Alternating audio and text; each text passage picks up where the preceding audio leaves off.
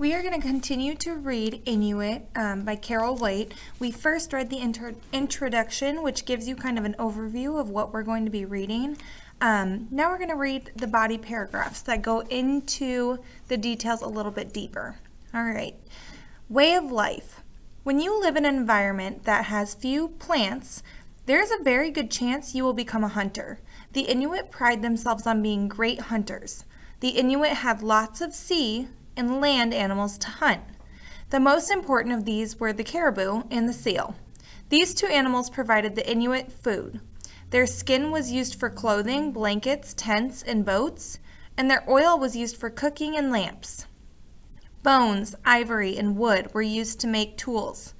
Other animals the Inuit hunted were the walrus, whale, polar bear, muskox, fox, and wolf. That is their way of life.